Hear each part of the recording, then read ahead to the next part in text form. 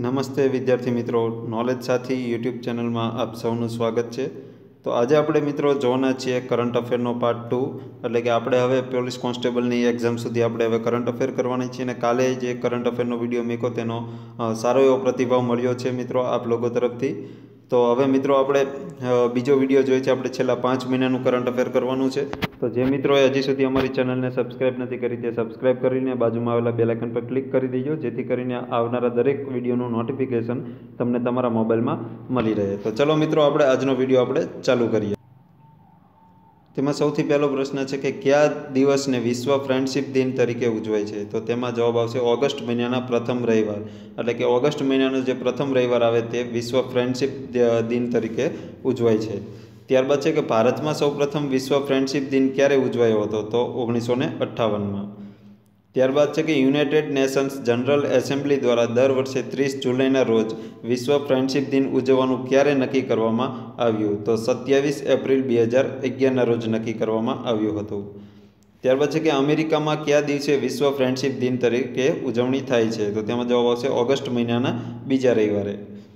ત્યારબાદ છે કે માઇક્રો એટીએમ ઓક્સિજન મશીન એ કેવા પ્રકારનું મશીન છે? તો કે માઇક્રો એટીએમ ઓક્સિજન એ પોઈન્ટ ઓફ સેલ એટલે કે પીઓએસ પ્રકારનું મશીન છે. ત્યારબાદ જોઈએ કે micro ATM micro ATM oxygen machine દ્વારા કેવી રીતે પેમેન્ટની ચૂકવણી કરી શકાશે? તો તેમાં જવાબ આવશે થમથી, એટલે કે અંગૂઠાથી પેમેન્ટ કરી શકાશે. ત્યારબાદ છે કે કેવાયસીનું પૂરું નામ શું છે? તો કે નો યોર કસ્ટમર. ત્યારબાદનો પ્રશ્ન છે કે એટીએમનું પૂરું નામ શું છે? તો એટીએમનું પૂરું નામ આવશે ઓટોમેટેડ ટેલર મશીન ત્યારબાદ છે કે આંતરરાષ્ટ્રીય ક્રિકેટમાં સો એક હજાર ટેસ્ટ મેચ રમનાર વિશ્વના પ્રથમ દેશનું નામ શું છે? તો તેમાં જવાબ આવશે ઇંગ્લેન્ડ. તો કે ઇંગ્લેન્ડ દેશ એકમાત્ર એવો છે કે જેને એક હજાર ટેસ્ટ મેચ રમી છે. ત્યારબાદ છે કે તાજેતરમાં ભારત અને ઇંગ્લેન્ડ વચ્ચે જે રમાયેલી ઇંગ્લેન્ડ ભારત અને ઇંગ્લેન્ડ વચ્ચે જે રમાયેલી એક હજારમી ટેસ્ટ મેચ ક્યાં યોજાઈ હતી? તો તેમાં જવાબ આવશે એજ બેસ્ટોન ક્રિકેટ ગ્રાઉન્ડ બર્નિંગહામ, ઇંગ્લેન્ડમાં. ત્યારબાદ છે કે તાજેતરમાં ઇન્ડોનેશિયાના જકાર્તા ખાતે યોજાયેલી જુનિયર એશિયા બેડમિન્ટન ચેમ્પિયનશિપ બે હજાર અઢારમાં મેન્સ સિંગલમાં ભારતને ગોલ્ડ મેડલ અપાવનાર ખેલાડીનું નામ શું હતું? તો તેમાં જવાબ આવશે લક્ષ્ય સેન ત્યારબાદ છે કે એનસીએઈઆર એટલે કે એનકેયર એનકેયર દ્વારા તાજેતરમાં જાહેર કરવામાં આવેલા સ્ટેટ ઇન્વેસ્ટમેન્ટ પોટેન્શિયલ ઇન્ડેક્સ બે હજાર અઢારમાં પ્રથમ ક્રમે ભારતનું કયું રાજ્ય હતું? તો તેમાં જવાબ આવશે દિલ્હી. ત્યારબાદ છે કે એન એનસીએ એનસીએઈઆર દ્વારા તાજેતરમાં જાહેર કરવામાં આવેલા સ્ટેટ ઇન્વેસ્ટમેન્ટ પોટેન્શિયલ ઇન્ડેક્સ બે હજાર અઢારમાં ગુજરાતનો ક્રમ કેટલામાં હતો? તો તેમાં ગુજરાતનો ક્રમ હતો ત્રીજો. ત્યારબાદ છે કે ભારતમાં હજારો કરોડો રૂપિયાના ગોટાળાના આરોપી મેહુલ ચોકસીને ભારત પર પરત લાવવા માટે તાજેતરમાં કયા દેશ સાથે પ્રત્યાર્પણ સંધિ કરી છે? તો તેમાં જવાબ આવશે એન્ટીગુઆ. ત્યારબાદ છે કે એન્ટીગુઆમાંથી કોને ભારત પરત લાવવા માટે તાજેતરમાં પ્રત્યાર્પણ સંધિ કરી તો તેમાં જવાબ આવશે મેહુલ ચોકસી. ત્યારબાદ, ત્યારબાદનો પ્રશ્ન છે કે વર્લ્ડ બેડમિન્ટન ચેમ્પિયનશિપ બે હજાર અઢારમાં ભારતને સિલ્વર સિલ્વર મેડલ અપાવનાર ખેલાડીનું નામ શું હતું? તો તેમાં આવશે પીવી સિંધુ. ત્યારબાદ છે કે વર્લ્ડ વર્લ્ડ બેડમિન્ટન ચેમ્પિયન બે હજાર અઢારમાં વિમેન્સ સિંગલની ફાઇનલ મેચમાં ભારતની પીવી સિંધુનો કોની સામે પરાજય થયો હતો? તો તેમાં જવાબ આવશે કેરોલિના મારિન.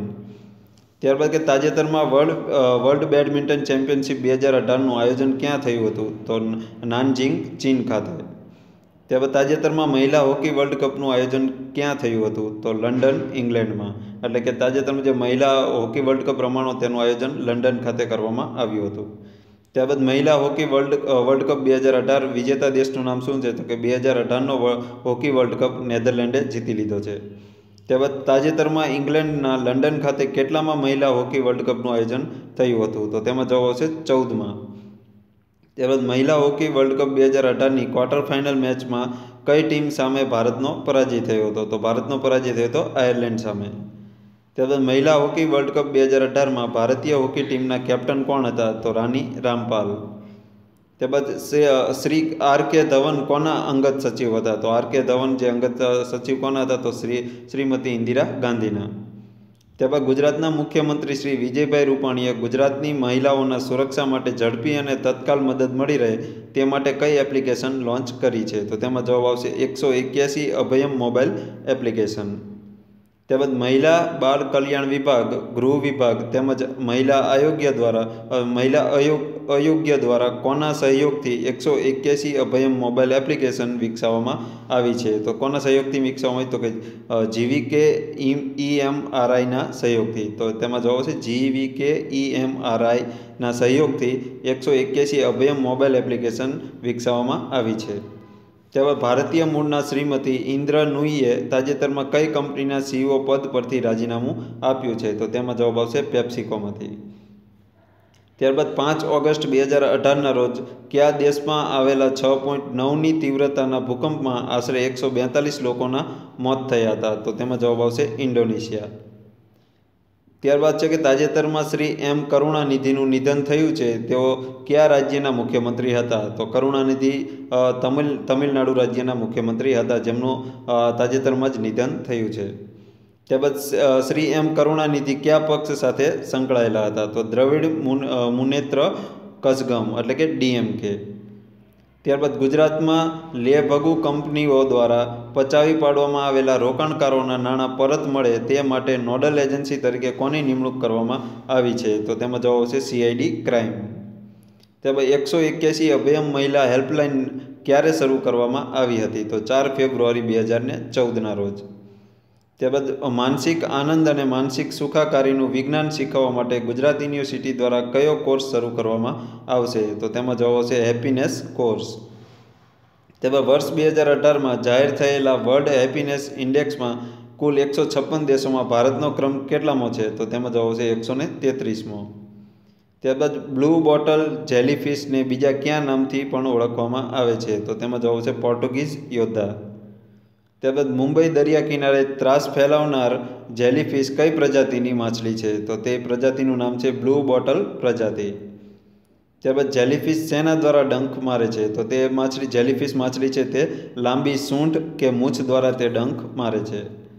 ત્યારબાદ બીઈઈનું પૂરું નામ શું છે? તો બીઈનું પૂરું નામ છે બ્યુરો ઓફ એનર્જી એફિશિયન્સી. તો બીઈનું પૂરું નામ છે બ્યુરો ઓફ એનર્જી એફિશિયન્સી.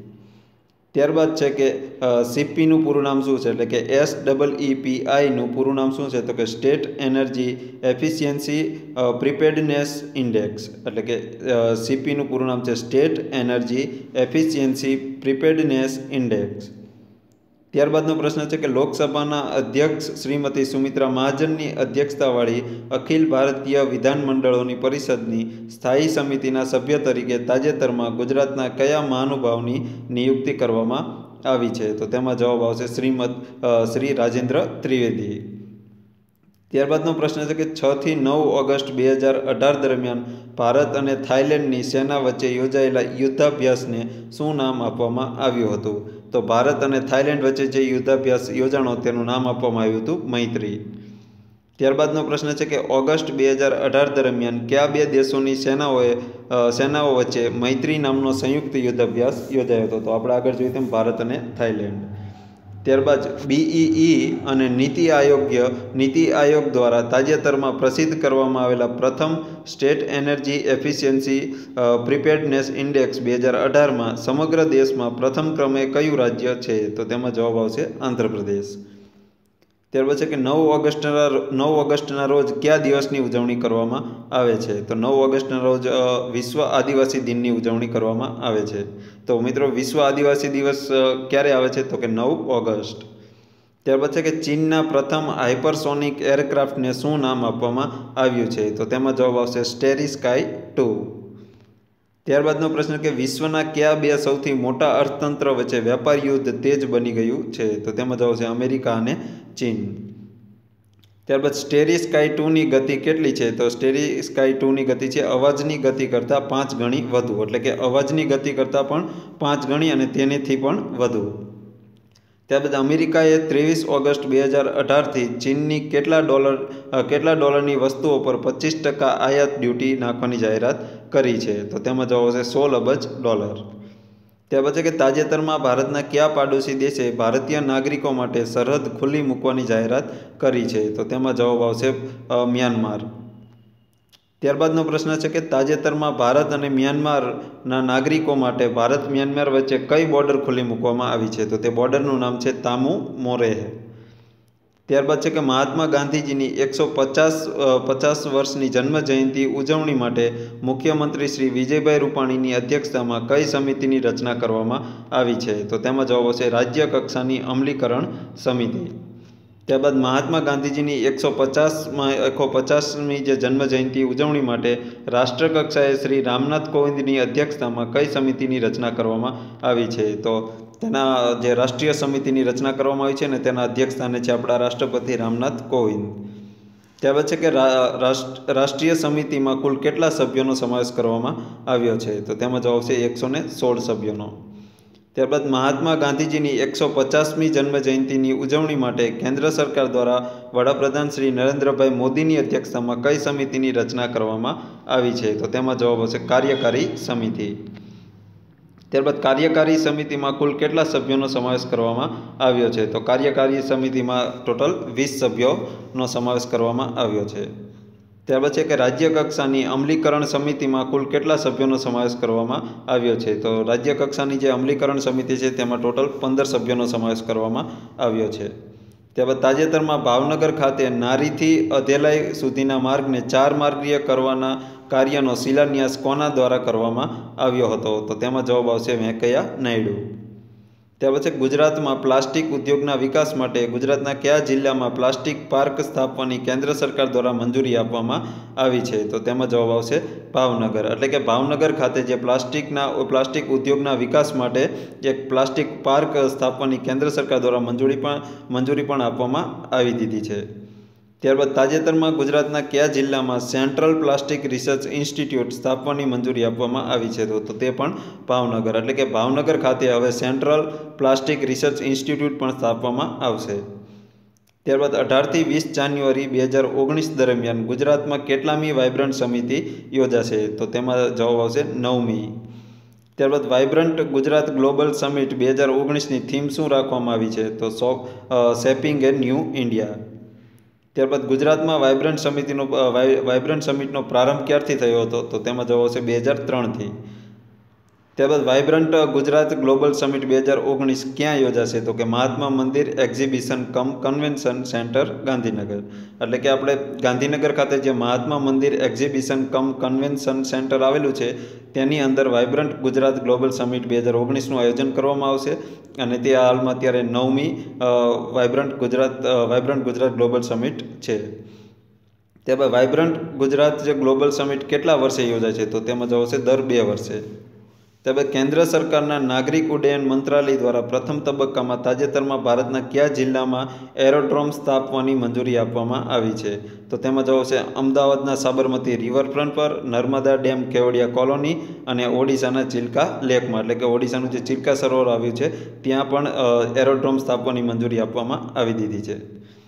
ત્યારબાદ એરોડ્રોમ શેના માટે ઉપયોગમાં આવે છે? તો કે એરોડ્રોમ એ શું છે? તેનો ઉપયોગ શું છે? તો કે સી પ્લેનના ઉતરાણ તથા લેન્ડિંગ માટે એરોડ્રોમનો ઉપયોગ કરવામાં આવે છે. ત્યારબાદ તાજેતરમાં અમેરિકામાં કેલિફોર્નિયાની હાઈકોર્ટે કઈ એગ્રીકલ્ચર કંપનીને રૂપિયા બે હજાર કરોડનો દંડ ફટકાર્યો છે? તો તેમાં જવાબ આવશે મોન્ટેન્સ મોન્સેન્ટો. ત્યારબાદ છે કે અગિયાર ઓગસ્ટ બે હજાર અઢારના રોજ વડાપ્રધાન શ્રી નરેન્દ્રભાઈ મોદીએ ભારતની કઈ આઈઆઈટીને રૂપિયા એક હજાર કરોડની સહાય આપવાની જાહેરાત કરી છે? તો તેમાં જવાબ છે આઈઆઈટી મુંબઈ. જે આઈઆઈટી મુંબઈ આવેલી છે, તેને એક હજાર કરોડની સહાય આપવાની જાહેરાત આપણા વડાપ્રધાન શ્રી નરેન્દ્રભાઈ મોદીએ કરી છે. ત્યારબાદ ભારતમાં પર્યાવરણ નિયંત્રણ માટે પાયલટ પ્રોજેક્ટ તરીકે ભારતના કયા રાજ્યની બસો પર પર્યાય યંત્ર નામનું ફિલ્ટર લગાવવામાં આવશે? તો તેમાં જવાબ આવશે રાજસ્થાન અને દિલ્હી. એટલે કે રાજસ્થાન અને દિલ્હીની બસો પર જે દિલ્હીની બસો છે ત્યાંની ઉપર પર્યાય યંત્ર નામનું એક ફિલ્ટર લગાવવામાં આવશે. ત્યારબાદ છે કે પ્રદૂષણનો સામનો કરવા માટે તૈયાર કરવામાં આવેલ પર્યાય યંત્રનું કાર્ય શું રહે છે તો કે પર્યાય યંત્રનું કાર્ય રહેશે કે બસની વિપરીત દિશામાં આવી રહેલા ધૂળના કણોને એકઠા કરવાનું. ત્યારબાદ કે સમગ્ર વિશ્વમાં કયો દિવસ વિશ્વ સિંહ દિવસ તરીકે ઉજવાય છે? તો વિશ્વ સિંહ દિવસ તરીકે ઉજવાય છે દસ ઓગસ્ટ. ત્યારબાદ છે કે સિંહ એ કયા કયા કુળનું સૌથી ઊંચું પ્રાણી છે? તો તેમાં જવાબ છે બિલાડી કુળનું ત્યારબાદ છે કે નાસાનું પૂરું નામ શું છે? તો તેમાં જવાબ છે national aeronautics and space administration. તો નાસા જે છે અમેરિકાની એક અવકાશ એજન્સી છે, જેનું પૂરું નામ છે national aeronautics and space administration. ત્યાર પછી કે નાસાની સ્થાપના ક્યારે કરવામાં આવી હતી? તો ઓગણીસ ઓગણત્રીસ જુલાઈ ઓગણીસો ને અઠ્ઠાવનમાં. ત્યારબાદ નાસાની સ્થાપના કયા અધિનિયમ હેઠળ કરવામાં આવી હતી? તો રાષ્ટ્રીય એરોનોટિક્સ એન્ડ અને અંતરિક્ષ અધિનિયમ. એટલે કે રાષ્ટ્રીય એરોનોટિક્સ અને અંતરિક્ષ અધિનિયમ અંતર્ગત નાસાની સ્થાપના કરવામાં આવી હતી.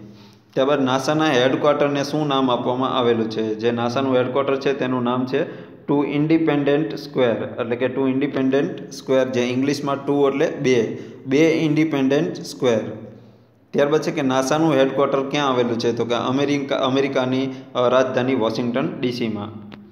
ત્યારબાદ છે કે નાસાની પુરોગામી સંસ્થાનું નામ શું છે? તો તેમાં જવાબ આવશે national advisory committee for aeronautics. ત્યારબાદ છે કે તાજેતરમાં એક ઓક્ટોબર બે હજાર અઢારના રોજ નાસાની કેટલામી વર્ષ વર્ષગાંઠની ઉજવણી કરવામાં આવી. તો નાસાની સ્થાપના કર્યાના સાઠ સાઠમી જે વર્ષગાંઠ ઉજવવામાં આવી છે, તાજેતરમાં એક ઓક્ટોબર બે હજાર અઢારના રોજ. ત્યારબાદ છે કે પચીસમી વર્ષગાંઠે ઉજવાતો ઉત્સવ કયા નામે ઓળખાય છે? એટલે કે જે પચીસમી વર્ષગાંઠ છે જ્યારે પચીસમી વર્ષગાંઠે જે ઉત્સવ ઉજવવામાં આવે છે, તેનું નામ છે રજત જયંતિ, એટલે કે સિલ્વર જુબલી. ત્યારબાદ છે કે ચાલીસમી વર્ષગાંઠે ઉજવા ઉજવાતો ઉત્સવ કયા નામે ઓળખાય છે? તો કે માણેક જયંતિ, રૂબી જુલી ત્યારબાદ છે પચાસમી વર્ષગાંઠે ઉજવાતો ઉત્સવ કયા નામે ઓળખાય છે? તો કે સુવર્ણ જયંતિ, એટલે કે ગોલ્ડન જુબલી. ત્યારબાદ છે કે સાઠમી વર્ષગાંઠે ઉજવાતો ઉત્સવ કયા નામે ઓળખાય છે? તો કે હીરક જયંતિ, ડાયમંડ જુબલી. ત્યારબાદ છે કે પાસઠમી વર્ષગાંઠે ઉજવાતો ઉત્સવ કયા નામે ઓળખાય છે? તો કે નીલમ જયંતિ. ત્યારબાદ છે કે સિત્તેરમી વર્ષગાંઠે ઉજવાતો ઉત્સવ કયા નામે ઓળખાય છે? તો કે પ્લેટિનિયમ જયંતિ. અને સોમી વર્ષગાંઠે ઉજવાતો ઉત્સવ કયા નામે ઓળખાય છે? તો કે શતાબ્દી મહોત્સવ. ત્યારબાદ છે કે તાજેતરમાં કેન્દ્ર સરકાર દ્વારા જાહેર કરવામાં આવેલા ઇઝ ઓફ લિવિંગ ઇન્ડેક્સ બે હજાર અઢારમાં ભારતના રહેવાલાયક એકસો ને અગિયાર શહેરોની યાદીમાં પ્રથમ ક્રમે કયું શહેર હતું? તો તેમાં જવાબ આવશે પુણે. ત્યારબાદ ઇઝ ઓફ લિવિંગ ઇન્ડેક્સ બે હજાર અઢારમાં અંતિમ ક્રમે કયું શહેર છે? તો તેમાં આવશે રામ, રામપુર. ત્યાર પછી કે પંદરમી ઓગસ્ટ બે હજાર અઢારના રોજ ભારતના કેટલામાં સ્વાતંત્ર્ય પર્વની ઉજવણી કરવામાં આવી છે? તો તેમાં જવાબ આવશે બોતેરમી.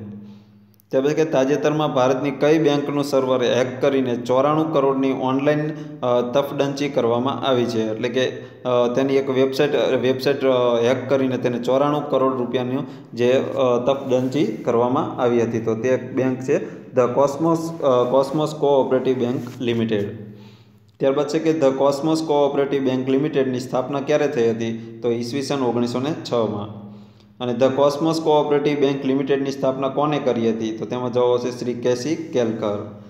અને તાજેતરમાં ભારતની ઉત્કૃષ્ટ રાજનીતિના ભીષ્મ પિતામહ તરીકે ઓળખાતા કયા પૂર્વ વડાપ્રધાનનું નિધન થયું છે? તો તેમાં જવાબ આવશે જવાબ આવશે શ્રી અટલ બિહારી વાજપેયીની.